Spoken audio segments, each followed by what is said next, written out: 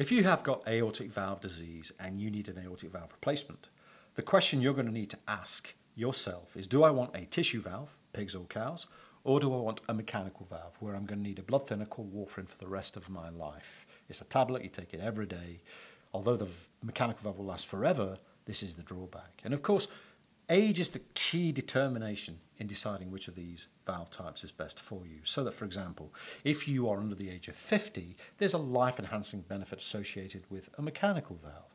If you're over the age of 70, there's a life-enhancing benefit associated with having a tissue valve. Somewhere in between, there's perhaps a lifestyle choice, although there is some data that suggests that even in that group, a mechanical valve might be the best way forward. Now, this might change, of course, because of two things. Firstly, there are newer tissue valves that seem to have greater levels of durability, and I'm going to come back to that in a moment. And then, of course, there's a new treatment called TAVI, where as a tissue valve fails, we can pass another valve through the groin without surgery into the old valve and correct the problem. We can already do that actually, but I am sure that that treatment will become more sophisticated as time goes on.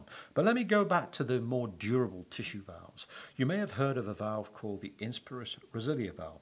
This is a tissue valve made the same as way, yeah, the same way as most tissue valves, but the leaflets have been treated slightly differently to make it last longer. And if you look at the way this valve works in the models that we've used before we bring it to the clinical space, these valves seem to last three or four times longer than the traditional excellent tissue valves that we compared them with.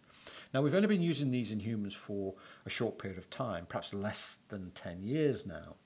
And there's a very interesting study that's just been published that's looked at the durability of the Inspiris Resilia valve out to 7.7 years. The durability of this valve is more than 99% at 7.7 years.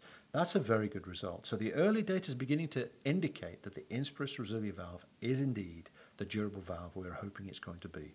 But of course, we need to wait 10, 15, 20 years, and if you need surgery now, that's not going to be enough for you. But I think it's safe to assume that if you're not sure what type of valve to have, and you're keen on the tissue valve, it may not be such a bad thing to consider the Inspiris Resilia valve because its durability may well surpass, and I suspect it will surpass, those traditional tissue valves. And with the advent of developments in TAVI, groin-based replacement of aortic valves, or even failure in a tissue valve, these advancements over the next 15 to 20 years will provide patients with a simple, straightforward, non-surgical solution. That will mean that the avoidance of warfarin may be very desirable in certain age groups.